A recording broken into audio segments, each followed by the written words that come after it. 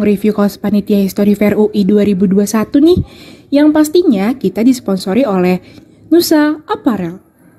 Kualitas bahan bajunya bagus, kainnya tebal, halus, tidak transparan, warnanya bagus, dan yang paling penting nih teman-teman, sablonnya nggak mudah luntur loh. Nah, buat kalian yang lagi nyari-nyari vendor baju untuk kepanitiaan ataupun kegiatan lainnya, aku bakal rekomendasiin kalian nih buat bajunya di Nusa Apparel aja ya teman-teman. Thank you Nusa Apparel.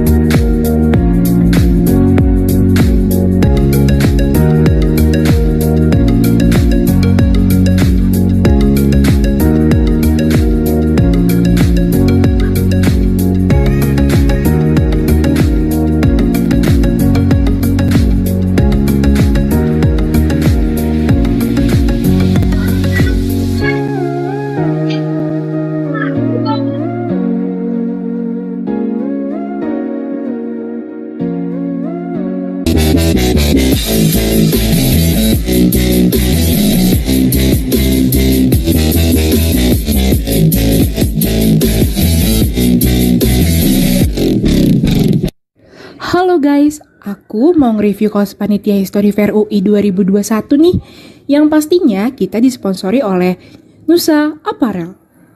Kualitas bahan bajunya bagus, kainnya tebal, halus, tidak transparan, warnanya bagus, dan yang paling penting nih teman-teman, sablonnya nggak mudah luntur loh. Nah, buat kalian yang lagi nyari-nyari vendor baju untuk kepanitiaan ataupun kegiatan lainnya, aku bakal rekomendasiin kalian nih buat bajunya di Nusa Apparel aja ya teman-teman. Thank you Nusa Apparel.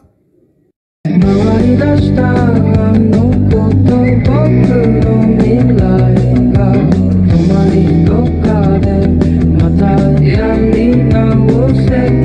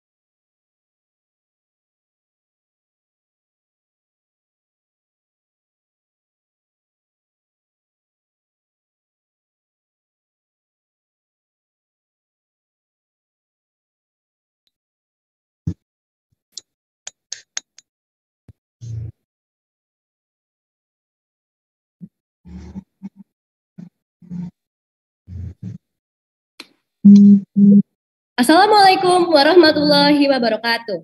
Selamat siang, salam sejahtera bagi kita semuanya. Om Swastiastu, Namo Buddhaya, Salam Kebajikan.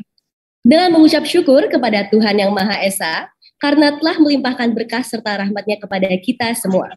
Sehingga kita dapat berkumpul di acara yang sangat kita nanti-nantikan. Yaitu webinar History Fair Universitas Indonesia tahun 2022. Pers kuat Indonesia bangkit. Izinkan Eh, saya memperkenalkan diri terlebih dahulu. Saya Alishan Naya Himawan dari Ilmu Sejarah UI Angkatan 2021. Dan saya, Rio Arif Pratama dari Ilmu Sejarah UI Angkatan 2021. Salam kenal semuanya. Salam kenal.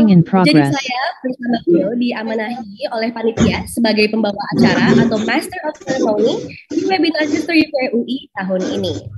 History Fair UI 2022 bekerja sama dengan Kemendikbudristek serta disponsori oleh Ines Cosmetics, Asosiasi Guru Sejarah Indonesia, Kopi Konichiwa, Historika Indonesia, Ruang Digital Indonesia, Kopi Mr. Bo, Kedai Three Sister, serta Nusa Apparel. Selain itu, kami juga berkolaborasi dengan Tentang Silam, Hipui, Neo Historia, Inspect History, Komunitas Historia, Medcom.id, Metro TV, Media Indonesia, Media Group, Narasi Sejarah, Tempo, serta Mata Hati Pemuda. Dan tidak lupa kami juga mengucapkan banyak terima kasih kepada Departemen Sejarah UI, Program Studi Ilmu Sejarah UI, Himpunan Studi Klub Sejarah, serta Iluni Sejarah Universitas Indonesia atas seluruh dukungannya kepada History Fair UI 2022. Oh iya, tapi Al, sebelum kita semakin jauh di webinar siang hari ini, mungkin alangkah baiknya kita awali acara webinar ini dengan membaca doa dulu kali ya. Yes. Baiklah, dengan begitu silakan kepada seluruh hadirin untuk membaca doa sesuai agama dan kepercayaannya masing-masing. Berdoa dimulai.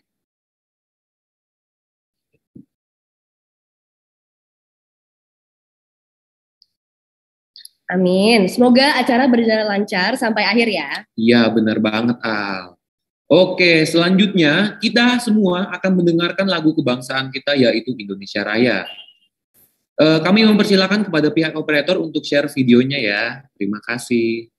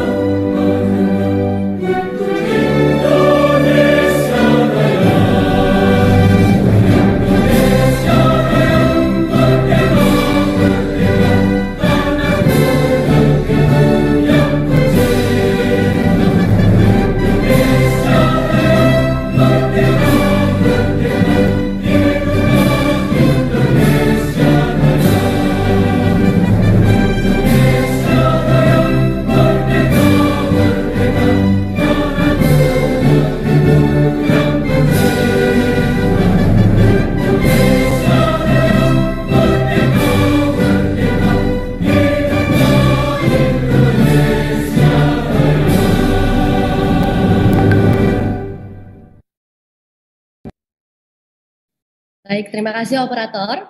Nah, mungkin yang belum tahu tentang tema besar yang kita akan bawakan di History Fair UI tahun ini, bisa banget nih Rio jelasin sedikit penjelasan atau selayang pandang aja. Ya, Al. dan teman-teman, Bapak Ibu hadirin sekalian, jadi History Fair Universitas Indonesia tahun ini membawa tema besar tentang sejarah pers Indonesia dengan tagline Pers Kuat Indonesia Bangkit. Ya, sebenar banget nih Yo. Dan kita juga harus senang dan bangga juga ya pastinya. Oke, sebelum kita lanjut lagi, ada lagi yang melewat.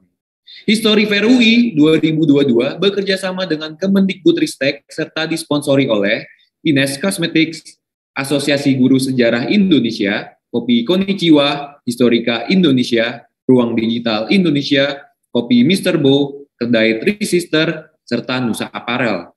Selain itu, kami berkolaborasi dengan Tentang Silam, Hipwi, Neo Historia, Inspect History, Komunitas Historia, medcom.id, Metro TV, Media Indonesia, Media Group, Narasi Sejarah, Tempo, dan Mata Hati Pemuda. Sebelumnya kami ingin mengucapkan selamat datang kepada sebesar-besar ya kepada Bapak Ibu dan rekan-rekan serta hadirin yang hadir pada hari ini. Tapi Rio, dari tadi kita udah ngomong aja agak panjang lebar ya, tapi kita masih belum kasih tahu nih sebenarnya judul webinar History Fair tahun ini itu apa. Oh iya, benar. Aku tadi kelupaan. Uh, jadi tema atau judul dari webinar History Fair tahun ini adalah relevansi sejarah pers dan pers di era pandemi. Pembahasan ketika berjalannya webinar nanti tentunya segala aspek atau hal yang berkaitan dengan pandemi COVID-19 di Indonesia dengan sejarah pers di Indonesia itu sendiri. Nah, selain itu jangan sampai lupa bahwa dalam sela-sela hingga di akhir webinar hari ini, akan ada pengumuman untuk para pemenang Lomba History Fair Universitas Indonesia tahun 2022, baik itu dari cabang debat, LKTI, ataupun podcast. Ya, selalu juga ada pemaparan dari mitra sponsor kita, baik itu dari mitra sponsor kami Ines Cosmetics dan media partner kami, yaitu Tempo dan Narasi Sejarah. Baik untuk operator, boleh tolong share screen pembacaan SOP-nya. Terima kasih.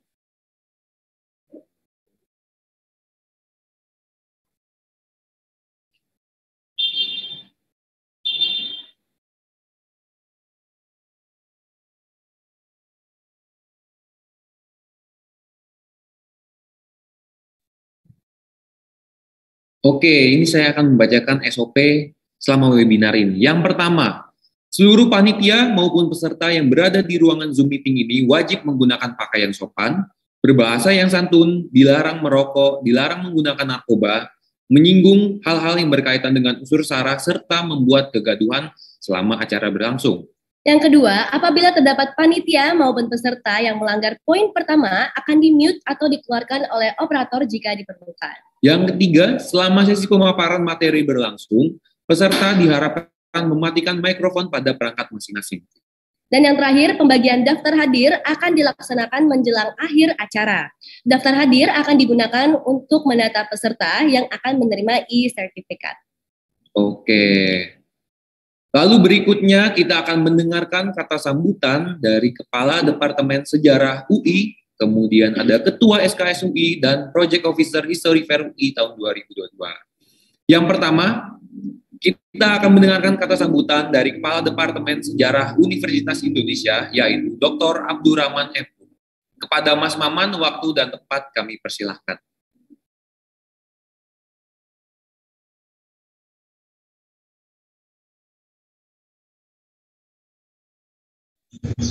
Bismillahirrahmanirrahim. Assalamualaikum warahmatullahi wabarakatuh. Yang kami hormati para pembicara, sahabat kami, Dr. Restu Gunawan Hum, Direktur Pengembangan dan Pemanfaatan Kebudayaan Kemenristekdikbud, Saudara Ekmal Muhammad, Konten dan Distribution Lead Kompas TV, Sahabat kami juga Irisandra Amelia, ex produser Metro Files atau bicara tentang bab yang hilang dan juga terkait dengan masalah jalan pedagang dan singkap. Dan juga pembicara terakhir sahabat kami saudara Raisa Solehagia Empum dan uh, para peserta seminar yang insya Allah uh, dalam kondisi yang sehat dan sejahtera selalu. Selamat datang di kampus kami melalui aktivitas daring di Fakultas Ilmu Pengetahuan Budaya Universitas Indonesia di Departemen Sejarah di acara History Fair Universitas Indonesia yang dilakukan oleh mahasiswa-mahasiswa dari program studi ilmu sejarah. Terima kasih juga kami ucapkan kepada uh, para sponsor dan pendukung kegiatan acara ini. Semoga bisa berjalan dengan baik. Tentunya kajian pers menjadi satu kajian yang menarik dalam uh, kajian sejarah gitu ya. Karena tidak bisa kita pungkiri perjalanan bangsa kita menuju Indonesia tidak lepas dari peran pers. Dan pers juga menjadi media dari para tokoh bangsa kita, para pemikir bangsa pada saat itu untuk menyampaikan gagasan-gagasan pemikirannya. Dan tentunya sampai saat ini pers tidak kehilangan perannya dalam berkontribusi membangun bangsa. Insya Allah kajian-kajian yang akan disampaikan oleh para pembicara nanti memberikan satu wawasan tambahan baru bagi kita semua untuk uh, memberikan pengetahuan yang bermanfaat tentu bagi kita sehingga bisa bermanfaat bagi pengembangan ilmu sejarah dan juga bermanfaat untuk uh, pengembangan penelitian-penelitian bagi adik-adik semua yang akan melakukan penelitian ke depannya. Pers menjadi satu kajian yang tersendiri menarik sumbernya insya Allah lengkap baik di perpustakaan nasional maupun di di lokasi-lokasi yang lainnya di Museum Pers Solo ataupun di perpustakaan-perpustakaan yang menyimpan uh, koleksi-koleksi pers. Nah, silakan uh, teman-teman menjadi satu uh, pembelajaran di sini, satu pencarian ilmu di sini untuk menggali rencana-rencana penelitian ke depan baik bagi mahasiswa ataupun bagi para peminat sejarah atau bagi anak-anak sekolah yang sedang mengikuti pelatihan ini apa namanya mengikuti seminar ini. Semoga kajian kali ini bisa memberikan manfaat bagi kita semua. Sekali lagi selamat berseminar. Sukses selalu. Mudah-mudahan uh, seminar hari ini bermanfaat buat kita semua. Terima kasih. Selamat berseminar. Wabillahi taufiq wal hidayah. Wassalamualaikum warahmatullahi wabarakatuh. Waalaikumsalam. Baik, terima kasih Mas Maman atas sambutannya. Berikutnya kita akan mendengarkan kata sambutan dari Kak Nandana Anggraksa selaku Wakil Ketua Study Club Sejarah UI 2022. Kepada Kanalang, waktu dan tempat kami persilahkan. Ya, uh, sebelumnya Assalamualaikum warahmatullahi wabarakatuh. Selamat siang. Uh, dari Departemen Ilmu Sejarah UI, Mas Maman, dan serta pembicara atau narasumber, panitia dan peserta. Terima kasih juga uh, terutama untuk panitia yang sudah melaksanakan acara History Fair UI tahun ini dengan sangat baik.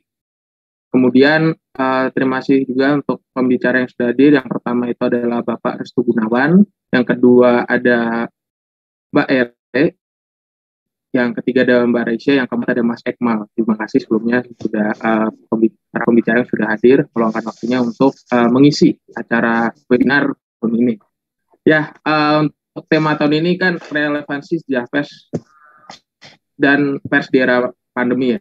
Jadi uh, pers ini memang dari dulu tonggak sejarah pers ini diwakili oleh berbagai tokoh dalam lintas ruang dan waktu misalnya di sini ya ya seperti Marco Karto Harisomo, hmm. Aristides Kartopo, Raja Arswendo Atmawiloto. Nah, pers ini uh, selalu beradaptasi, selalu mengadaptasikan dirinya, baik di zaman pergerakan, revolusi, kemudian orde lama, orde baru, di, bahkan di zaman reformasi, bahkan yang kemarin itu pandemi. Uh, di masa pandemi ini tentu media-media menghadapi perubahan pola masyarakat yang semula hobi membaca media fisik berupa koran, buku atau uh, semacamnya berbentuk fisik, tulisan, kemudian uh, berubah menjadi semua berbentuk digital dalam bentuk portal media online. Ini mungkin bisa menjadi uh, sisi yang menarik untuk nanti dibicarakan pada hari ini dalam tema relevansi sejarah pers dan pers di era pandemi ya. Jadi mungkin uh, teman-teman bisa menarik manfaat, menarik pengetahuan dari webinar kali ini. Kemudian uh, selanjutnya untuk para peserta uh, mungkin yang nanti memenangkan juaraan atau perlombaan uh, selamat mungkin yang belum juga jangan berkecil hati ingat uh, tahun depan masih ada untuk history fair mungkin bisa dicoba dengan mata mata-mata perlombaan yang kian bervariasi menyesuaikan tema setiap tahunnya. Mungkin itu aja dari saya. Kurang lebihnya mohon maaf. Wabil Taufik Walidayah. Assalamualaikum warahmatullahi wabarakatuh. Salam sejahtera bagi kita semua. Waalaikumsalam warahmatullahi wabarakatuh. Oke, terima kasih Kak Nalang atas sambutannya. Yang terakhir kita akan mendengarkan kata sambutan dari Kak Oktiana Ayu Lestari selaku Project Officer History Fair Universitas Indonesia tahun 2022. Kepada Kak Oci, waktu dan tempat kami persilahkan. Oke, terima kasih untuk MC. Sebelumnya terdengar ya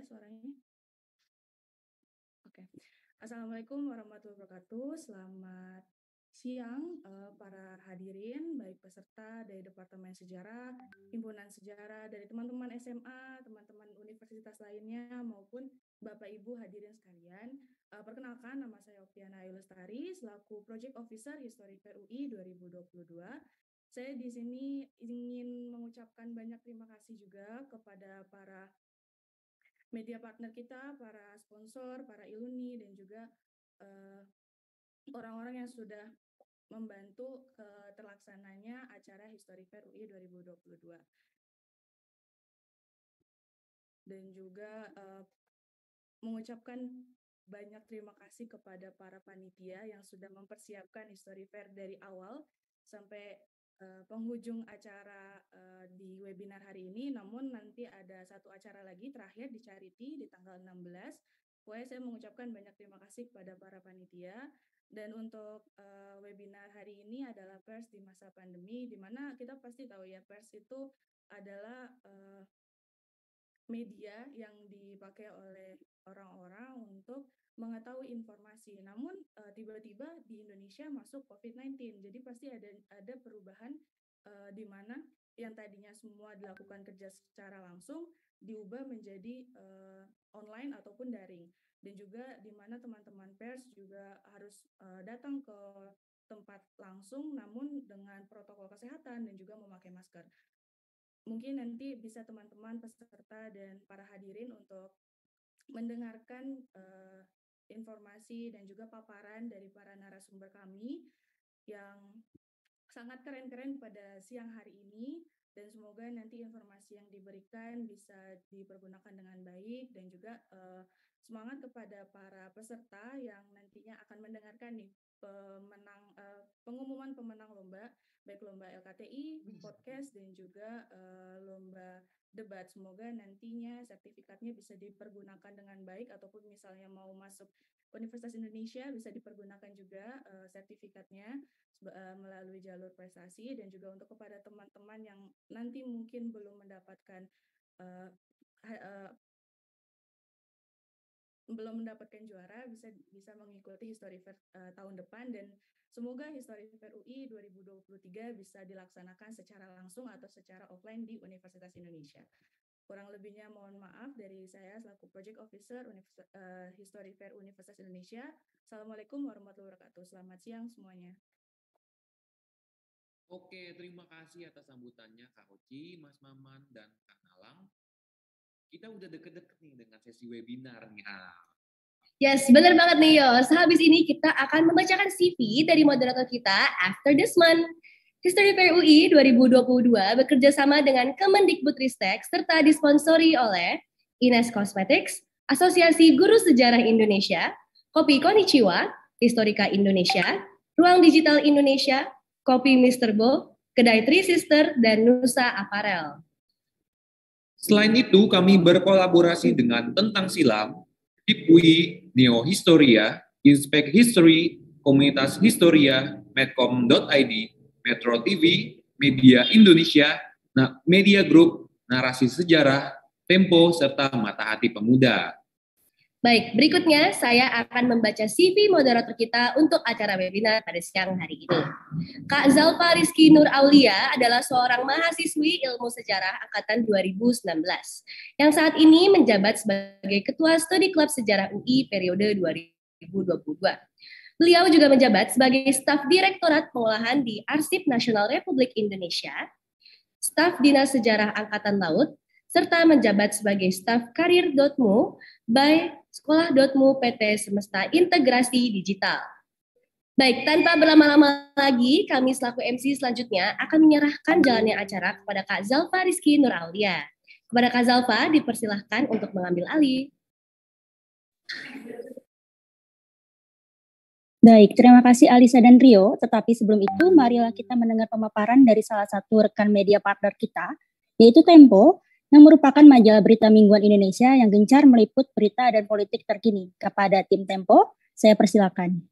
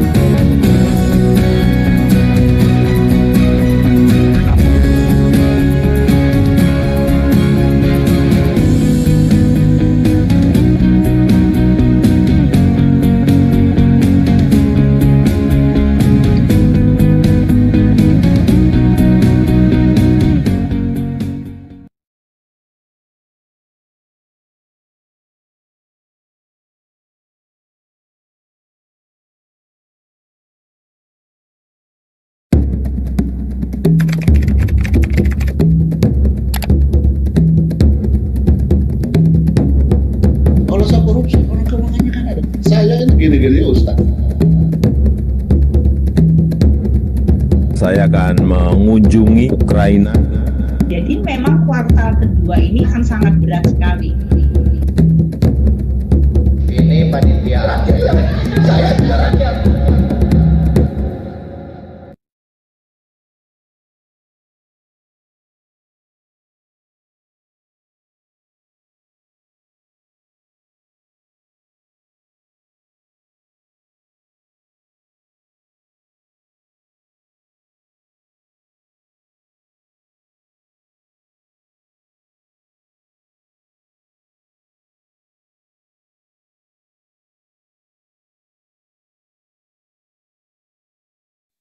Oke. Jadi terima kasih kepada tim Tempo. Kemudian kita akan mulai beranjak memasuki inti utama acara hari ini. Jadi Assalamualaikum warahmatullahi wabarakatuh. Salam sejahtera untuk kita semua. Salam, Om Swastiastu, Namo Buddhaya, salam kebajikan. Selamat siang, saya ucapkan selamat datang pada undangan dan peserta dalam ruang virtual acara History Fair 2022 yang bertajuk Relevansi Sejarah Pers dan Pers di Era Pandemi. Acara ini diselenggarakan setiap tahun oleh Himpunan Mahasiswa Ilmu Sejarah Studi Klub Sejarah. Lalu seperti yang disebutkan oleh MC tadi, saya Zalfa akan memandu Anda di sesi diskusi yang akan dilanjutkan sesi tanya jawab nanti. Pertama-tama, saya akan memperkenalkan pembicara pertama kita, yakni Bapak Dr. Restu Gunawan M. Hum. Sebelumnya, pada tahun 2017 sampai 2020, Bapak Restu menjadi Direktur Kesenian, Direktorat Jenderal Kebudayaan, dan saat ini menjabat sebagai Direktur Pengembangan dan Pemanfaatan Kebudayaan di Kementerian Pendidikan, Kebudayaan, Riset, dan Teknologi. Beliau adalah salah satu alumni dan senior kami yang menempuh pendidikan S2 dan S3-nya di Sejarah Universitas Indonesia. Selamat siang Bapak Restu. Selanjutnya, Ibu Raisya Soleh Hagi Aimhum, biasa dipanggil Mbak Isya. Beliau adalah dosen di Departemen Sejarah, Prodi Ilmu Sejarah yang juga mengajar sejarah media massa atau sejarah pers. Setelah menempuh pendidikan S1 dan S2-nya di Universitas Indonesia. Adapun salah satu penelitiannya berjudul Dinamika Masyarakat Indonesia Pasca Kemerdekaan, studi kasus kebijakan politik luar negeri dan pers pada masa Orde Lama, serta gerakan pramuka dan kebijakan kesehatan pada masa Orde Baru. Sementara itu, salah satu publikasinya membahas The Dynamics of Identity of the Malaysian Beginese Diaspora in the Age of Social Media. Mbak Isi juga menulis buku berjudul Diaspora Orang Bugis ke Semenanjung Melayu, Peran Orang Bugis di Bidang Politik dan Sosial Budaya. Selamat siang Mbak Isya. Kemudian ada Ibu Eri Sandra Amelia atau kerap disapa Mbak Ere, juga alumni dan senior kami yang menempuh S1-nya di sejarah di sejarah Universitas Indonesia dan S2 di sastra Belanda Universitas Indonesia. Mbak Ere memiliki banyak pengalaman profesional, mulai dari junior producer Metro Files, produser untuk Oasis dan Special Report di Metro TV.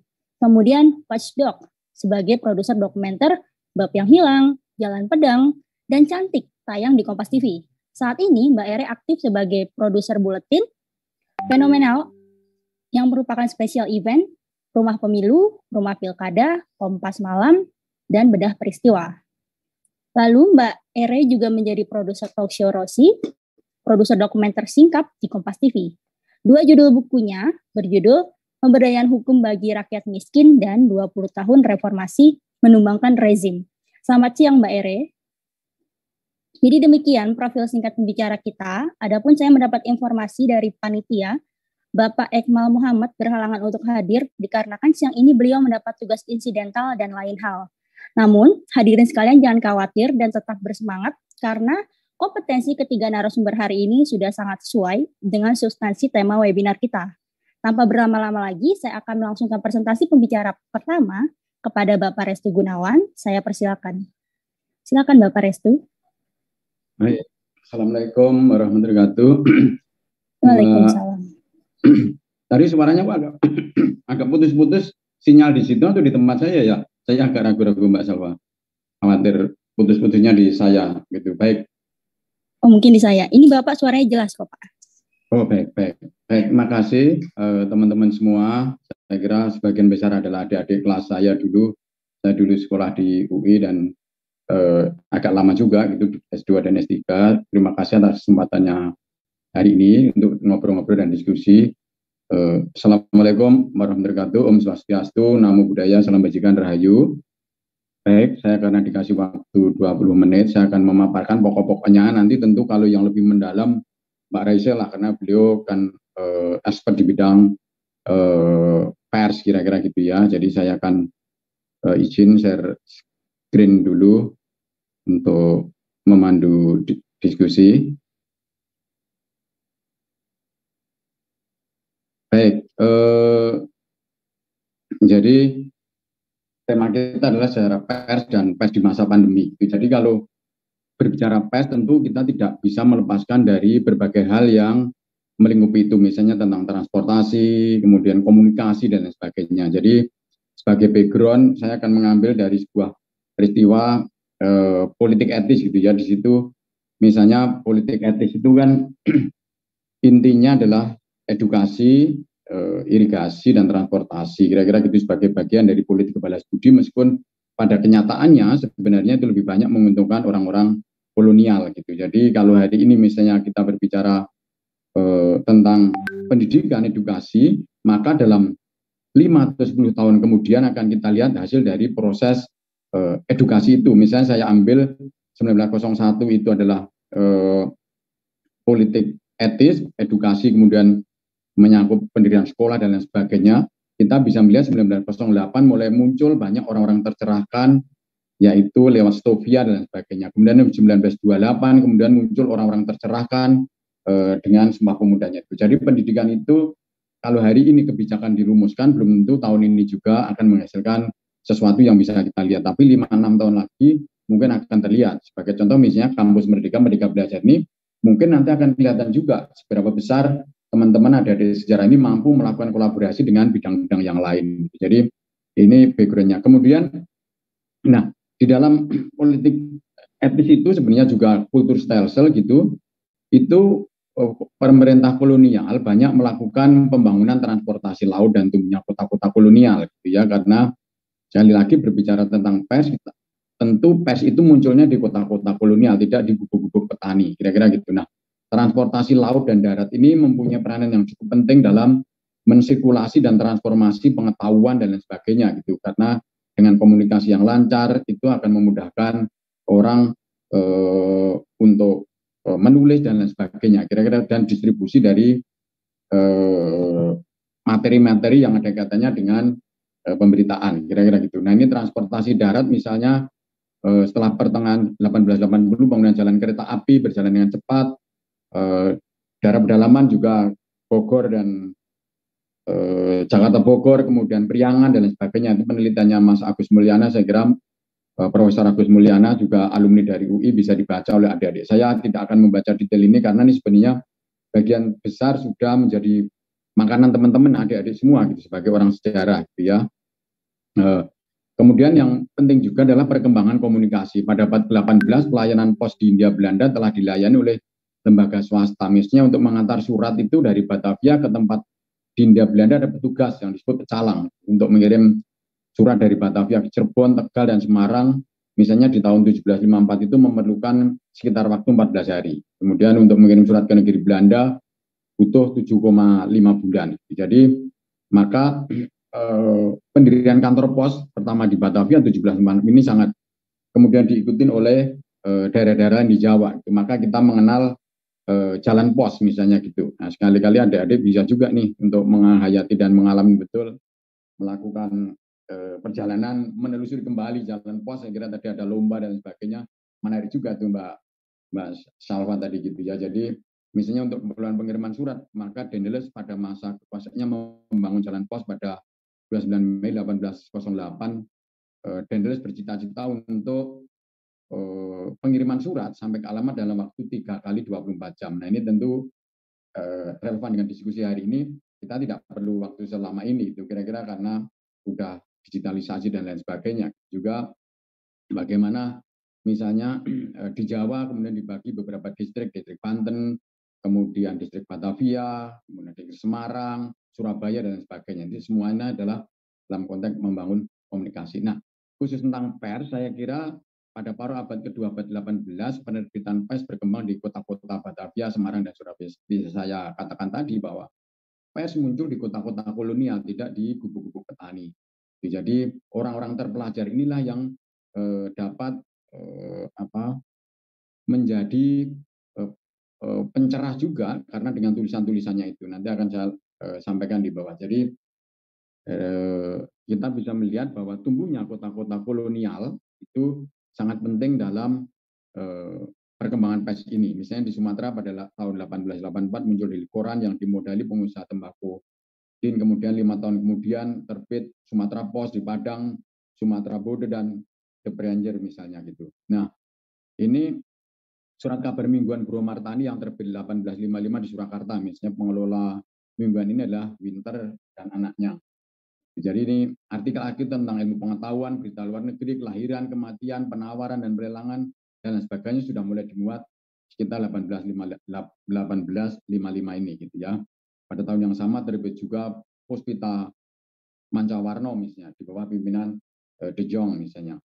Nah, pers Bumi Putra saya kira kita tidak bisa melepaskan dari Kusumo Utoyo gitu. karena ini eh, menurut saya sangat penting apa yang dilakukan oleh Kusumo Utoyo dalam merintis eh, pers khususnya pewarta priayi yang terbit 1900 gitu ya ini untuk yang pertama yang digagas oleh orang Bumi Putra Medan Priayi misalnya merupakan media bagi orang-orang Bumi Putra untuk mengekspresikan pandangan-pandangannya tentang kesejahteraan pendidikan pendidikan rakyat Bumi Putra saluran golongan pria untuk menyampaikan kritik dan sebagainya. Jadi sebenarnya dari dulu pun media itu sangat ampuh untuk menyampaikan kritik dan sebagainya.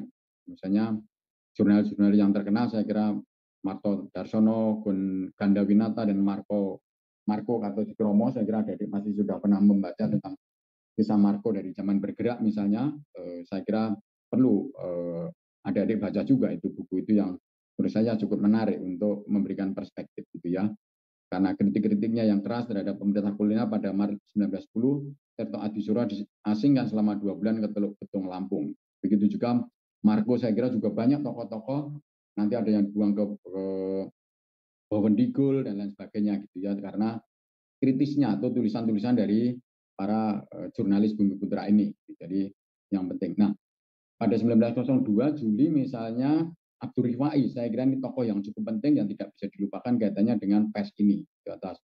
Misalnya dia mendirikan Bintang India dengan Frozen, misalnya uh, lembaga separuh resmi milik pemerintah pada tahun India Bintang India ini separuh milik pemerintah kira-kira begitu. Nah, sejak terbitan 1902 Abdul Rifai memberi kesan pada para pembaca mengenai perlunya berubah ke cara hidup yang lebih modern. Dalam artikelnya tentang bangsawan pikiran, saya kira ini menarik bangsawan pikiran ini, karena dia ada dua, bangsawan usul dan bangsawan pikiran. Kita konteksnya dulu kan masih primordial sekali. Jadi bangsawan usul adalah orang-orang yang e, memang secara asal usul e, dari keturunan. Gitu. Nah, bangsawan pikiran, saya kira pikiran e, Abdul Rifai adalah seperti adik-adik ini, kita semua ini adalah orang yang e, muncul ke kelas menengah karena pemikiran, karena pendidikannya, karena intelektualitasnya. Jadi bangsawan usul ini sudah takdir, tetapi bangsawan pikiran inilah yang harus dikejar. Jadi tulisan-tulisan Ahmad Abdul Rifa ini sangat menarik dan memberi perspektif yang e, cukup bagus bagi orang-orang kita. Misalnya tulisannya tentang musuh yang bersenjata hanyalah boleh dilawan oleh musuh yang bersenjata pula. Demikian juga ilmu dan kepandaian itu hanya cakap dilawan dengan ilmu kepandaian. Jadi dia sudah memberikan roh baru terhadap uh, intelektualitas kita bahwa kepandaian atau intelektualitas itu sangat penting dan itu hanya lewat pendidikan. Jadi uh, Abdul Rifa ini saya kira apa memberikan Eh, pandangan yang cukup bagus 19 eh, ketika terbit 19 1900-an. Nah, ini saya kira di dalam konteks eh, tokoh-tokoh yang penting misalnya Hatta dan sebagainya, saya kira pers sangat penting. misalnya pembuangan tiga serangkai ke India negeri Belanda membuat dampak yang cukup penting terhadap perkembangan Indonesia Vereniging. Mereka memperkenalkan radikalisme politik kepada organisasi ini. Indonesia Vereniging kemudian nanti berubah menjadi Indonesia Vereniging kemudian Perimpunan Indonesia. Jadi Indonesia pada awalnya adalah komitmen politik kira-kira gitu. Ayatnya 1924 itu sudah ada keinginan untuk menjadikan Indonesia sebagai sebuah alat perjuangan. Nama Indonesia itu adalah alat perjuangan yang digelurakan terus-menerus lewat misalnya Indonesia Merdeka majalahnya. Jadi ini saya eh, saya meyakini bahwa meskipun itu terbit di negeri Belanda, tapi Eh, surat kabar yang dikirim ke India Belanda mempengaruhi alam pikir dan uh, pemikiran orang-orang muda di uh, Hindia Belanda atau kepulauan Indonesia ini. Gitu. Jadi uh, misalnya sembulan semboyan di Los Nederland misalnya. Ini saya kira sangat menarik uh, ketika pada masa itu sudah ada orang yang berani menulis artikel tentang keinginan untuk merdeka dan lepas dari Belanda. 1924 kita bayangkan kita merdeka kan 1945 jadi eh, sejak dari 1908 kemudian 1924 1928 1945 dan seterusnya itu saya kira itu adalah rentetan yang cukup penting dalam mencapai Indonesia sebagai sebuah komitmen politik dan cita-cita bersama untuk menuju Indonesia yang bahagia dan maju. Jadi Indonesia tidak sekedar sebuah nama tetapi adalah alat perjuangan. Bayangkan orang yang dari Aceh, orang yang dari eh, Papua, orang yang ada di Sangir Talaut, orang yang ada di Rote, Kupang, bisa menyatakan diri sebagai Indonesia. Saya kira imagine community itulah sebenarnya. Kita nggak pernah kenal, tetapi kok kita merasa Indonesia. Jadi bayangan tentang uh, sebuah komunitas bernama Indonesia itu ternyata mampu menyatukan itu dan salah satu alat yang cukup penting adalah media atau pers ini.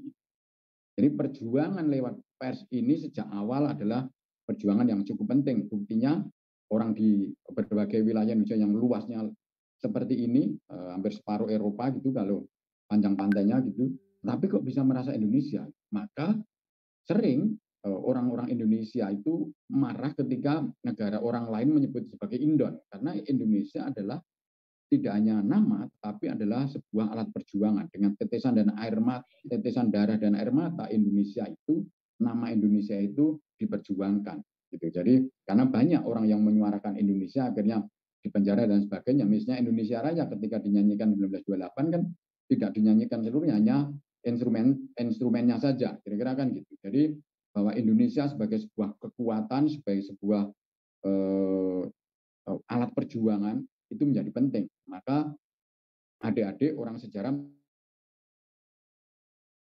mestinya juga menyuarakan Indonesia itu komunitik, kita sudah selesai politik 1945, kita harus memperjuangkan sebagai komitmen kebudayaan. Komitmen kebudayaan itu apa? Yang kita harus membangun bahwa kita negara yang berbineka tunggal ika ini, eh, kita mempunyai, eh, kalau sebagai saya orang Dayak, maka ketika saya tinggal di wilayah yang sebagian besar saya sebagai minoritas, maka punya ruang juga untuk mengekspresikan kebudayaan saya. Kira-kira kalau saya tinggal di daerah yang saya sebagai minoritas agama saya, maka saya semestinya juga punya ruang untuk menyuarakan eh, kebudayaan saya itu. Jadi komitmen politik dan komitmen kebudayaan atas nama Indonesia itu menjadi sesuatu yang cukup penting. Jadi dari eh, pers yang tadi saya katakan dari 1924 itu kemudian meskipun di Indonesia di Kepulauan Indonesia juga sudah mulai muncul, tapi bahwa misalnya Soekarno di Bandung, di Batavia dan lain sebagainya eh, apa, roh dari kekuatan media atau pers ini sangat mempengaruhi alam pikir dan perjuangan para founding fathers kita. Misalnya perdebatan Soekarno-Hatta. Karena dulu belum ada internet dan sebagainya, perdebatannya adalah lewat dua eh, pers yang cukup penting yaitu pemandangan dan di daulat rakyat. Mereka saling eh, bertukar pikiran, berdebat dan lain sebagainya lewat media. Dan tetapi di dalam eh, pertarungan pemikiran itu kemudian memunculkan ide-ide baru, gagasan baru untuk memperkuat ideologi Indonesia, yaitu Indonesia Merdeka itu. Jadi eh, lewat koran inilah sebenarnya para tokoh nanti adik-adik bisa mencari tuh perdebatan misalnya tentang polemik kebudayaan dan lain sebagainya itu adalah lewat pers ini. Jadi pers ini membentuk eh, ruang demokrasi yang cukup bagus pada masa dulu maupun masa sekarang sebenarnya. Nah nanti bisa dicek itu perkembangannya seperti apa. Jadi pemandangan dan daulat adalah sebagai ruang perdebatan antara eh, Hatta dan Soekarno misalnya. Jadi jadi eh, begitu juga misalnya tentang tokoh STA, Sanusi Pane, bermacam-macam juga menggunakan media dan dari perdebatan 1930-an itulah kemudian ideologi kita semakin lama semakin terbentuk. Jadi eh, saya membayangkan kalau adik-adik eh, tema kita adalah tentang sejarah pers, saya kira pers ini menjadikan sebuah kekuatan yang cukup penting dalam menyatukan gagasan, ide Indonesia ke depan itu seperti apa. Indonesia yang diidam-idamkan merdeka ke depan itu seperti apa. Nah ini sebenarnya bisa dilihat dari perdebatan eh, para tokoh ini dan eh, sudah banyak tesis skripsi maupun disertasi yang eh, menggarap atau menulis tentang uh, pers perdebatan di pers di pers oleh para tokoh-tokoh bangsa ini. Nah, nah ini saya masuk ke hari ini fenomena hari ini. Kalau tadi saya menyampaikan periode dulu itu kita banyak menggunakan pers uh, cetak dan lain sebagainya meskipun dalam suasana yang tidak begitu menguntungkan, toh para tokoh kita, para pejuang kita mampu juga menelusup, menelikung ke media-media itu. Dan mereka ternyata eh, bisa memanfaatkan itu untuk menyebarkan ide gagasan perjuangan itu. Nah hari ini misalnya bagaimana sekarang kalau kita kaitkan dengan pers dengan situasi revolusi 4.0 eh, atau sekarang sudah lima juga sebenarnya gitu. Jadi internet dan lain sebagainya eh, penetrasi internet di kita luar biasa bahkan eh, pers yang berbasis komunitas dan lain sebagainya itu sudah menjadi kekuatan yang cukup penting. Kita membayangkan misalnya ini di tahun 1920 saja kita sudah 64 persen penggunaan penetrasi internet. Saya, saya menduga hari ini sudah lebih dari itu, mungkin sudah 70-80-an persen penetrasi internet di Kepulauan Indonesia ini. Kemudian penggunaan handphone dan lain sebagainya sudah cukup masif. Kemudian 10 media sosial yang sering digunakan misalnya YouTube, WhatsApp, Facebook, Instagram, Twitter adik-adik pun sekarang kalau demo sudah cukup menggunakan Twitter, cukup menggunakan IG dan sebagainya. Gitu. Membayangkan dulu zaman eh, eh, misalnya reformasi dan sebagainya, dengan itu saja ternyata bisa menyatukan ide dan gagasan ketika kita bisa meruntuhkan eh, Orde Baru misalnya. Nah, tentu hari ini pers kita mestinya bisa lebih konstruktif di dalam membangun demokrasi. Kemudian kalau di kampus misalnya tiga dosa pendidikan misalnya uh, bullying, kemudian intoleransi, kekerasan seksual dan lain sebagainya. Mungkin media-media sosial seperti itu sekarang bisa digunakan untuk uh, melawan uh, radikalisme dan lain sebagainya gitu. Karena kita membayangkan betapa kekuatan internet dan lain sebagainya ini cukup masif gitu. Nah, tantangan kita kan semakin kompleks. Hari ini misalnya nah ini mestinya adik-adik dari sejarah harus mengambil manfaat ini. Karena saya tadi eh, sebagai orang sejarah tapi saya pernah menangani seni gitu kita kalau dulu orang nonton wayang itu semalam suntuk. Tapi ternyata sekarang orang dengan eh, algoritma ini dengan kanal-kanal YouTube orang dalang-dalang dengan 2 sampai 3 menit, eh, 2 sampai 3 jam dan ditaruh di kanal YouTube ternyata bisa menghasilkan ekonomi yang cukup penting. Mereka bisa menghidupi dirinya dengan kalau ada lihat nanti begitu juga dengan lagu dan lain sebagainya lagu-lagu oh, macam-macam nah saya menantang adik-adik nih untuk adik-adik dari jurusan sejarah gitu eh, kalian harus juga eh, mampu mengintegrasikan antara pengetahuan sejarah yang didapat di kampus-kampus dengan fenomena hari ini. Tantangan kita semakin kompleks dengan uh, era digital ini, gitu ya. Jadi bagaimana adik-adik, saya kira pengetahuan sejarah kita itu uh, luar biasa. Gitu. Tetapi salurannya, saya kalau lihat di kanal-kanal YouTube kita, saya tidak begitu banyak melihat uh, kiprah dari adik-adik yang backgroundnya sejarah, kemudian berkolaborasi dengan anak-anak IT gitu, informatika untuk membuat misalnya memberikan pencerahan kepada guru-guru kita. Misalnya kan guru-guru itu atau adik-adik kita di SMA, di SMP dan sebagainya. Saya yakin adik-adik yang ikut ini bisa menggunakan itu gitu. Misalnya tadi menerangkan tentang pers dalam apakah lewat eh, talk show atau lewat apa pun juga kemudian ditaruh di kanal-kanal YouTube bisa memberikan pencerahan untuk melawan juga eh, YouTube-YouTube yang eh, tidak berdasarkan riset kesejarahan yang cukup kuat gitu karena hari ini di era eh, sekarang ini sesuatu yang salah pun kalau itu terus menerus disampaikan lewat media sosial dan lain sebagainya secara masif maka sebenarnya akan menjadi kebenaran. Nah ini bahaya bagi kita karena kalau adik-adik tidak melakukan itu saya kira kita akan kalah dengan eh, orang yang eh, apa? Terus menerus mengupload videonya. Saya kira saya tidak usah menyebut tokoh ataupun nama siapa pun juga tapi ada yang bisa ngecek. Akhirnya seolah-olah itu menjadi kebenaran. Karena orang sejarah terlalu hati-hati kemudian eh, kadang-kadang sulit bekerja sama mudah-mudahan dugaan saya salah begitu. Nggak mau membuat ini gitu. Menurut saya kalian harus melakukan ini melakukan eh, jangan berpikir hanya sebagai pegawai negeri kira-kira gitu. Jangan berpikir hanya sebagai dosen tapi bahwa sekarang ini ruang untuk untuk uh, adik-adik itu luas sekali orang. sejarah itu kan oh gak dibaca dari mulai kuliner, mulai mulai dari bahasa, mulai dari macam-macam itu sebenarnya adalah cukup penting. Kita ya kan dari kondisi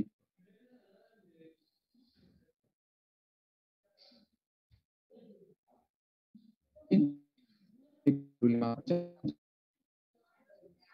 ada 65 persen. Saya menyarankan adik-adik membangun pola kolaborasi. Maka sebenarnya merdeka belajar itu sebagian satu bagaimana membangun tahu sudah habis apa belum. Saya dengan orang seniman itu seniman itu ternyata ada hubungannya dengan kedokteran. Misalnya untuk healing orang sakit ODGJ, orang dengan gangguan jiwa, ternyata bisa dengan terapi melukis. Saya sudah pernah melakukan riset dan workshop di rumah sakit jiwa Malang, kemudian di Jakarta, di Malampung, dan sebagainya. Jadi itu bisa digunakan sebagai terapi. Saya yakin bahwa eh, sejarah juga mempunyai peranan yang cukup penting dalam konteks ini. Bagaimana misalnya tentang kuliner membuat uh, kuliner kita banyak sekali, tapi kalau adik-adik ke mall sebagian besar dan saya kira adik-adik juga melakukan yang sama, mungkin hanya 10 sampai 20 persen makanan-makanan itu yang asli Indonesia gitu. Adik-adik kalau ke mall kadang-kadang sukanya makan steak nih. Padahal rendang Padang juga tidak kalah enak. Atau kalau ini anak Jakarta gabus pucung dan sebagainya juga tidak enak. Kira-kira kan begitu. Jadi, nah itu misalnya adik-adik membuat itu bagaimana sejarah dari kuliner itu saja cukup menarik gitu ya. Belum yang hal-hal yang lain. Kalau saya kaitkan dengan macam-macam. Nah ini saya ambil contoh misalnya tentang K-pop misalnya. Nah ini adik-adik menurut saya perspektif kita tentang kebudayaan harus dirubah. Selama ini kita selalu mengatakan kita ini selalu dijaga budaya asing, tapi kita tidak pernah melakukan apa-apa. Gitu. Kita tidak pernah ofensif, kita harus melakukan penyerangan. Maka orang-orang sejarah juga harus melakukan penyerangan. Penyerangannya seperti apa? Ya tadi membuat membuat hari ini ya adik-adik semua. Apa sih media yang paling mujarab? Media paling mujarab adalah lewat digital, film dan lain sebagainya. Buku saya kira cukup penting, tapi eh, berapa besar sih buku sejarah yang dicetak 3.000 atau 2.000 sekali cetak itu yang bisa cetak 2-3 kali? Sangat jarang sekali, kecuali buku-buku yang memang betul-betul eh, saya ingin bukti juga. Nanti kalau ada yang bisa melakukan survei juga buku tesis disertasi yang bisa cetak dua tiga kali itu berapa banyak. Tetapi bahwa dengan media sosial kali ini ini menunjukkan bahwa K-pop itu luar biasa. Dan di Indonesia itu adalah negara terbesar saya bukan dari perspektif Indonesia tentu saya menyayangkan, tetapi dari perspektif Korea berarti Korea kan luar biasa gitu.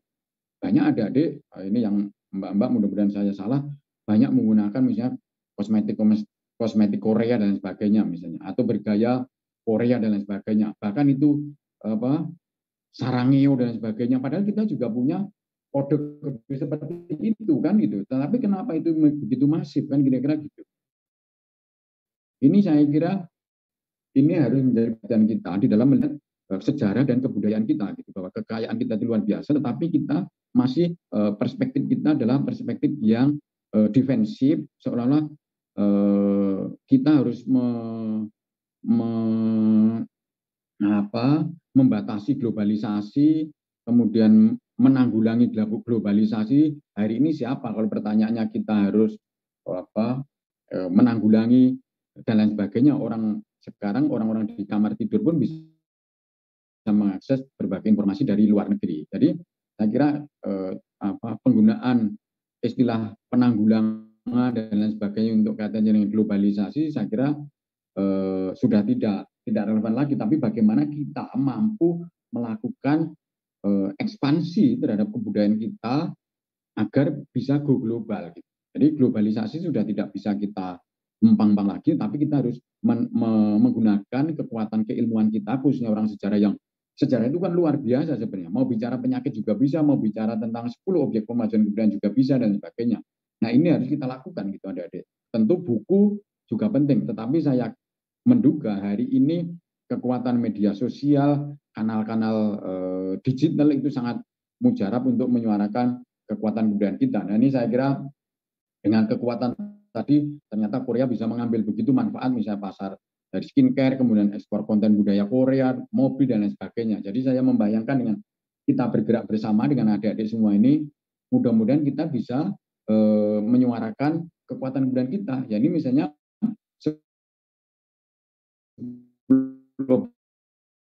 pemajuan kebudayaan ini ada manuskrip tentang jejamuan saja, tentang rempah-rempah saja. Ada Pak Restu, Eh, Bapak, mohon Waktunya sudah habis, Pak. Dengan Ada oh. Oh. Oke okay, ya. Tapi gini ya, saya karena waktu saya hanya ini nanti saya mohon kalau bisa apakah kalau tidak ada tanya jawab juga bagus, tapi saya mohon izin live karena ada pekerjaan lain gitu ya Mbak ya. Jadi gitu. Karena oh, ya, saya oh, apakah langsung tanya jawab atau jadi saya tadi saya kira udah. Jadi ini beberapa yang bisa digarap oleh adik-adik semua untuk memperkaya pengetahuan adik-adik juga warisan budaya dunia kita juga banyak dan lain sebagainya. Saya minta waktu dua menit saja, Mbak. Jadi ah, ini kekuatan kita luar biasa yang saya meminta bantuan adik-adik semua karena saya di Kemendikbudristek di dan Kebudayaan. Saya kira ini bisa untuk tidak hanya ini saja. Ini saya hanya mengambil contoh bahwa sumbangan adik-adik di bidang misalnya untuk pengusulan warisan budaya dunia itu cukup penting gitu, untuk menyiarkan ini gitu ya. Jadi baik itu warisan budaya tak benda maupun benda dan lain sebagainya. Ini contoh-contoh saja yang sudah kita lakukan untuk adik-adik sejarah yang kami juga sudah kolaborasi juga dengan eh, eh, sejarawan atau adik-adik yang kampus-kampus di beberapa untuk pasar budaya dan sebagainya. Nah ini karena tadi berbicara tentang hadiah, eh, panitia saya ada hadiah buku ini untuk adik-adik nanti misalnya apakah dikirim ke jurusan UI nanti silakan diberikan kepada yang apa silakan panitia ini ada tujuh buku enam buku dari eh, tulis memoir Mia Bustam kemudian Kelindan Asa dan Kenyataan Sujoyono dan aku. Kemudian ada ini bukunya Prof. Lapian ini wajib nih anak sejarah. Ini sudah kami terjemahkan ke dalam bahasa Inggris kemudian arsip dan sejarah.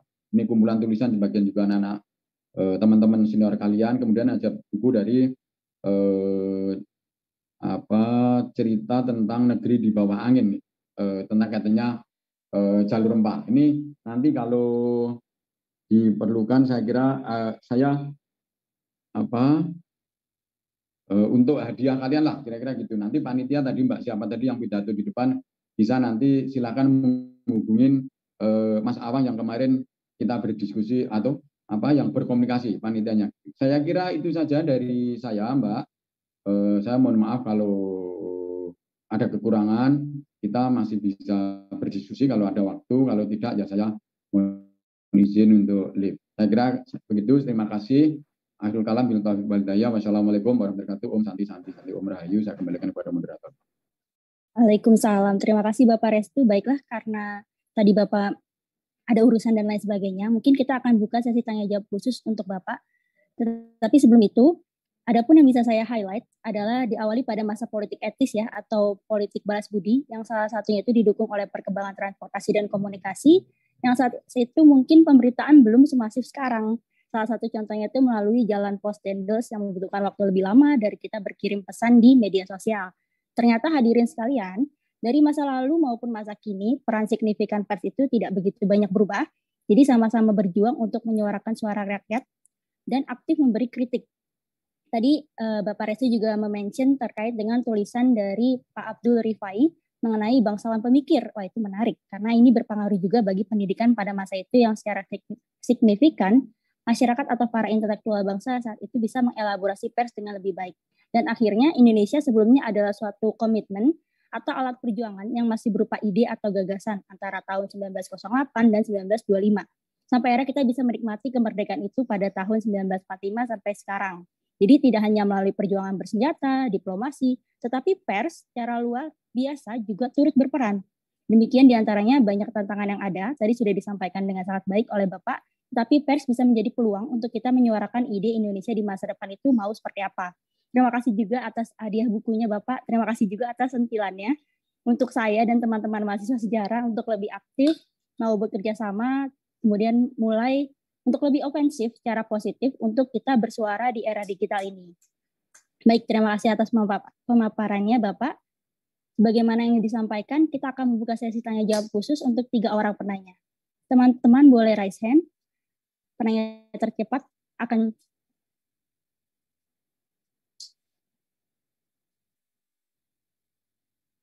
Bagaimana teman-teman? Oh ya, sudah ada dari saudara Wais Julkarni Ahmad. Ya. Silakan untuk menyampaikan pertanyaannya. Uh, baik Kak, terima kasih banyak uh, untuk kesempatannya. Saya mengucapkan terima kasih kepada Bapak uh, Restu Gunawan atas pemaparannya dan uh, sentilan mungkin kepada kita semua untuk mencintai produk budaya kita sendiri. Nah, dari 10 objek pemajuan kebudayaan Pak, salah satu yang di salah satu yang di highlight itu adalah uh, yang satu yang ingin saya tanyakan itu adalah di bagian di di bagian ada bagian pengetahuan te, pengetahuan tradisional pagi, pagi. dan teknologi tradisional.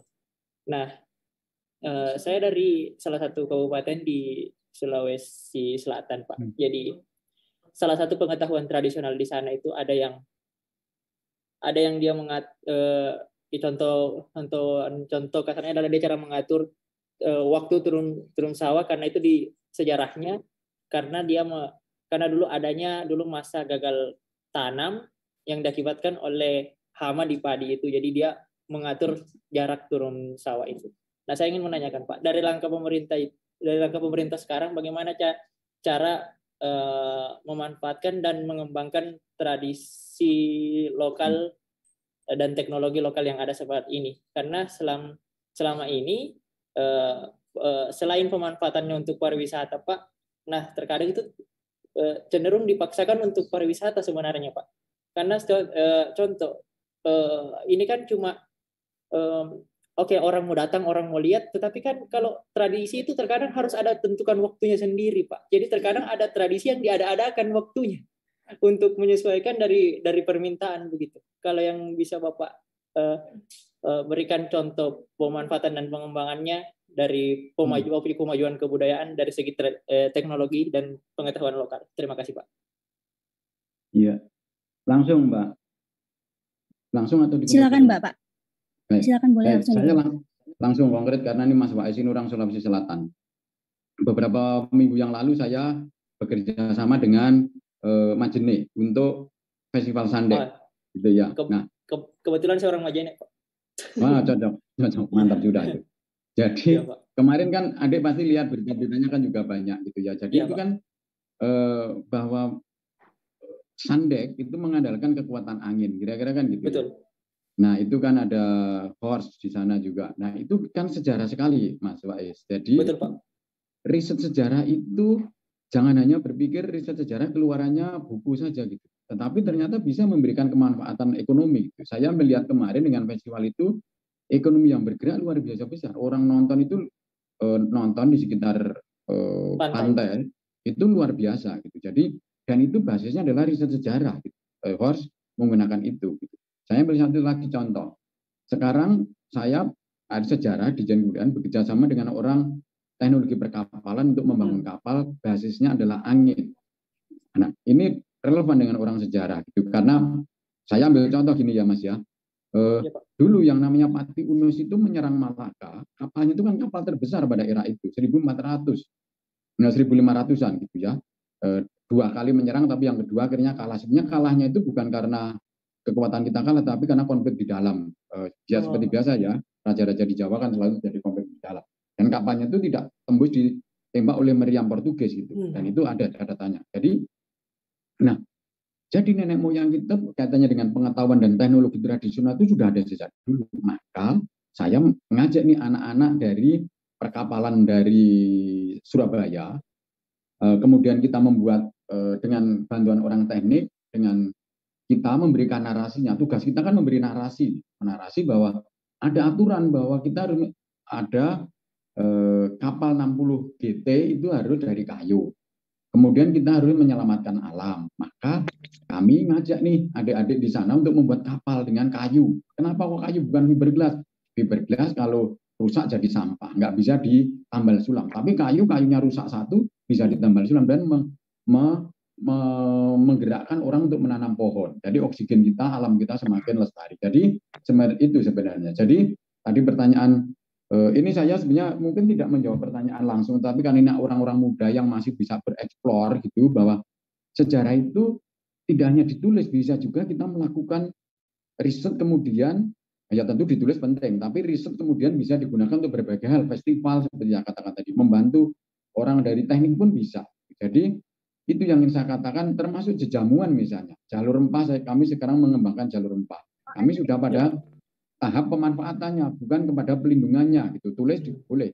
Tapi bahwa jejamuan kita itu tumbuhan di Indonesia itu tumbuhannya adalah lima besar di dunia dari jumlahnya. Tetapi kalau kita hari ini impor jejamuan berbasis herbal itu kan kita masih terlalu banyak. Padahal tanaman kita banyak. Nah, orang sejarah memberikan narasi itu. Jejamuan kita luar biasa. Kalau perlu adik-adik nyoba bikin kafe jamu kira-kira kan gitu. Kan keren tuh kafe jamu minum jamu ala kafe ya. nah itu kalau ada adik bisa lihat di kota tua. Silakan nanti di kota tua sudah ada orang yang bahkan itu gitu. Nah saya kira itu beberapa hal yang menurut saya e, bisa digali kembali. Jadi udah buat tesis disertasi dari 10 objek pemajuan kebudayaan tadi juga bisa gitu. Karena sejarah ini kan cakupannya cukup luas gitu. Nah, tentu ya. mungkin jawaban saya tidak sesuai dengan tema ya Mbak moderator. Tapi saya kira saya ingin karena ini mumpung ketemu adik-adik, eh, saya berdosa kalau saya tidak memberikan perspektif kira-kira kan gitu ya, karena ini sebagian besar mahasiswa gitu. Saya kira pengalaman saya di kerja di Kemendikbud dan juga apa kerja-kerja kami secara aksi nyata gitu, saya kira bisa memberikan perspektif baru adik-adik untuk ngapain lagi nanti setelah eh, dengan kekayaan yang luar biasa ini bisa kita monetisasi atau kita kapitalisasi. Saya kira gitu Mas Faiz, mudah-mudahan cukup. Terima kasih ya. Terima kasih banyak. Baik, terima kasih Mas Wais atas pertanyaannya dan juga jawaban dari Pak Restu. Kemudian saya akan lanjut oleh pertanyaan dari Saudara Rido yang tadi terlebih dahulu untuk Raisen. Silakan. Assalamualaikum warahmatullahi wabarakatuh. Sebelumnya mohon maaf karena saya tidak bisa uh, feed cam karena di sini lagi ada duduk, jadi nggak bisa. Aduh, ini kan lagi HP saya tidak berkenan untuk feed cam, feed cam gitu, on cam. Tidak apa-apa. Jadi suara aja cukup pak? Cukup, Ya, cukup. boleh. Jelas. Ya. Jadi pertanyaan saya ini ada di tulisan Kak, sudah di copy sama saya. Jadi saya izin untuk kepada ini untuk membukakan kolom obrolan gitu, Pak. Dalam bentuk tulisan pertanyaan saya. Dibacakan saja kalau begitu Rido pertanyaan yang sudah diketik tadi. Suaranya jelas nggak, Kak? Jelas. Ya. Karena cukup panjang.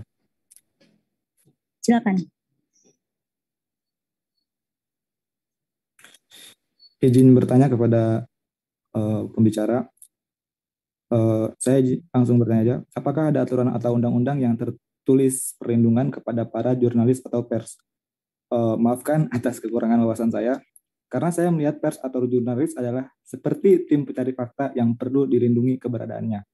Semoga pers yang selalu dalam selalu dalam lindungan Tuhan yang Maha Kuasa. Amin. Udah kak. Oh itu saja. Rido dari Iya. mana ya Rido? Dari, dari Pandeglang Pak. Oh Pandeglang. Ya ya ya. ya. Ya kalau kalau jurnalis pasti sudah ada ya undang-undang atau pertama kode etik kan pasti ada tuh maka eh, juga eh, undang-undang pers pasti ada ya. Nanti di browsing saja mas saya tidak apal betul kalau katanya dengan undang-undang. Tapi saya yakin ada karena misalnya ketika wartawan meliput dan lain sebagainya mengalami kekerasan kan tentu ada pasal-pasal yang dikenakan untuk eh, untuk melindungi profesi dari wartawan itu gitu. Bahkan eh, dari zaman dulu pun selalu ada sebenarnya aturan. Waktu kolonial pun kan juga ada ya untuk eh, aturan-aturan kaitannya dengan eh, kerja-kerja jurnalisme ini gitu. Nanti silakan di browsing kembali lah eh, untuk apa nomornya berapa dan lain sebagainya Eh, tetapi yang jelas pasti ada gitu untuk melindungi kerja jurnalisme dari eh, para jurnalis gitu. Juga dibatasi oleh kode etik maka kemarin kan ada almarhum Pak Asmadi Asram misalnya kan dia kan ketua apa Dewan Pers misalnya kayak gitu. Jadi saya kira kelengkapan organisasian untuk melindungi eh, kerja jurnalis saya kira sudah sudah ada cukup, cukup komplit di Indonesia ini. Gitu. Izin, Pak Rido. izin Pak. Itu Mbak. Kalau kalau misalkan sudah ada undang-undangnya berarti pers itu dilindungi oleh pemerintah. Oh iya iya saya kira jadi dilindungi oleh undang-undang ya. Iya. Termasuk kita saya kira juga wajib melindungi ya kalau itu ya. Gitu. Ya. Apa masalahnya di mana? Mas Rido eh, mau nulis gitu Uh, atau izin gimana? izin Pak izin Pak ya. Um, masalah saya di sini adalah ketika si pers ini dilindungi oleh pemerintah, kenapa pers ini tidak jadi PNS gitu Pak? Karena ya benar ketika pers ini mencari fakta itu kan butuh lebih banyak uang atau tenaga ya. Jadi toh juga fakta ini sendiri untuk apa ya? Untuk memperjelas, untuk menyampaikan kepada masyarakat-masyarakat yang sekiranya kurang tahu gitu Pak. Iya, jadi saya ingin mengingatkan bahwa salah satu pilar penting dari demokrasi adalah pers. Maka pers itu independen sebenarnya sifatnya, gitu ya. Jadi yang melindungi pers adalah undang-undang, bukan pemerintah. Nanti kalau karena kalau ya artinya meskipun di situ ada unsur pemerintah juga, gitu, tetapi bahwa pers itu sifatnya sebenarnya independen karena ingin menyuarakan seperti tadi Mbak moderator tadi menyampaikan eh, pers itu sebenarnya ingin menyuarakan kritik juga boleh baik membangun maupun ya artinya kritik membangun dan sebagainya untuk perbaikan demokrasi dan juga perbaikan berbagai macam hal gitu kan kadang-kadang juga mengkritik pemerintah mengkritik macam-macam gitu ya. Sebenarnya itu adalah eh, bagian dari apa membangun sebuah demokrasi. Perkara hari ini misalnya dengan media sosial karena temanya tentang pers kekinian gitu eh, ada pers yang sifatnya hoax dan lain sebagainya atau liputan-liputan hoax dan sebagainya tentu itu sudah ada yang melindungi juga. Karena ada undang-undang tentang apa saya lupa namanya itu kalau orang yang menyebar luaskan tentang hoax dan lain sebagainya kan juga aturan yang apa undang-undang IT kan.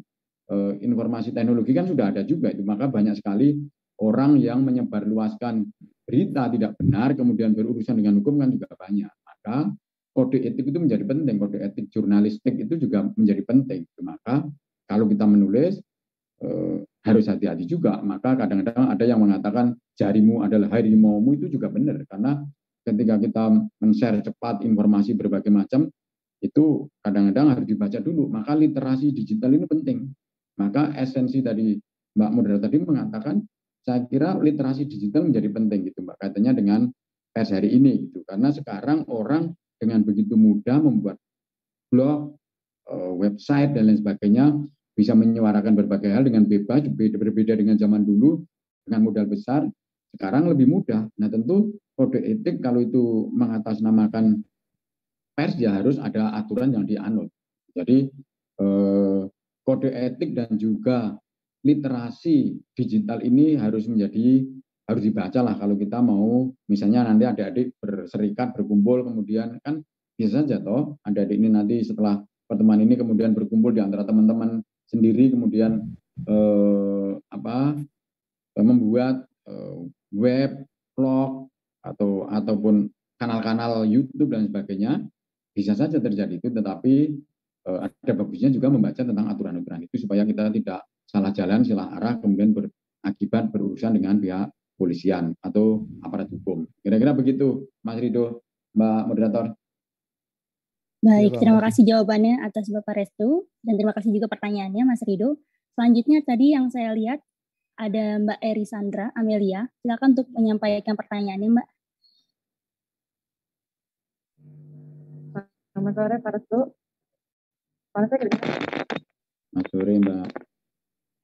Ya, perkenalkan saya Ere Pak. Uh, saya alumni sejarah UI. Saya tertarik dengan tantangan Bapak bagaimana mengemas sejarah dalam bentuk audio visual. Jadi saya mau informasi Pak, di jurusan sejarah kita sudah punya, uh, jadi saya dan teman-teman mahasiswa ada sebanyak 26 mahasiswa, kita punya kelompok komunitas yang bernama ruang dan kita di mana mengemas sejarah dalam bentuk audio visual. Karena saya kebetulan dari uh, media ya Pak, yang uh, media khususnya dokumenter sejarah. Jadi saya lihat ruang untuk audio visual untuk sejarah itu masih terbuka luas, tapi belum banyak orang yang mengisi gitu Pak. Jadi saya berinisiatif dengan adik-adik mahasiswa untuk uh, kita mengisi uh, ruang kosong itu. Nah, pertanyaan saya Pak, ini kita uh, kita udah setahun Pak berdiri ruang digital Indonesia. Apakah mungkin kita bekerja sama dengan pihak Kemendikbud Pak? Karena uh, salah satu kendala terbesar ketika kita mengembangkan audio visual, terus terang Pak, ada di uh, pendanaan. Ketika kita buat video segala, kita ada tiga program Pak, video talk show, uh, namanya out of the box, itu kita uh, mengangkat daily history, terus yang kedua mencari Indonesia, itu tentang perspektif Gen mengenai berbagai uh, fenomena uh, di masyarakat terkait dengan sejarah juga, dan yang ketiga kita sedang membuat dokumenter Depok, Pak. Nah, yang saya ingin tahu bagaimana kita bisa bekerja sama dengan Kemendikbud, Pak, karena sulit sekali masuk bekerja sama dengan Kemendikbud selama ini. Baik. Itu aja Cukup, Pak pertanyaan saya. Yeah, yeah. Ya. Saya kira nah, orang seperti Mbak Eri inilah yang kita harus perbanyak gitu ya. Eh, orang yang bisa merespon eh, era digital ini dikaitkan dengan eh, pengetahuan kita sejarah. Justru saya sebenarnya juga sering ngomong dengan jurusan sejarah itu kurikulumnya saya kira perlu juga ada penyesuaian kira-kira gitu kan. Karena eh, saya tidak tahu ya di mungkin di UI karena udah kampus besar mungkin kurikulumnya sudah adopsi terhadap fenomena tentang uh, era digital ini gitu. Saya kira saya terima kasih Mbak Eri sudah melakukan banyak hal untuk nanti saya buka deh Mbak, saya lihat apa uh, webnya atau kanalnya itu. Nah peluang kerjasama saya kira sangat besar, sangat bisa gitu. Uh, di Kemdikbud khususnya di Jenbuna itu ada namanya nanti coba setelah ini Mbak buka dana indonesiana.kemdikbud.id. Nah di situ tuh kami ada fasilitasi bantuan kebudayaan. bahkan sejak Pak Jokowi ini ada dana abadi kebudayaan nilainya 3 triliun, nanti akan menjadi 5 triliun. Nah, dari hasil usahanya itu kemudian yang kita berikan untuk bantuan kepada teman-teman. Mungkin teman-teman Mbak Eri di luar sana sudah sudah banyak juga yang mendapatkan.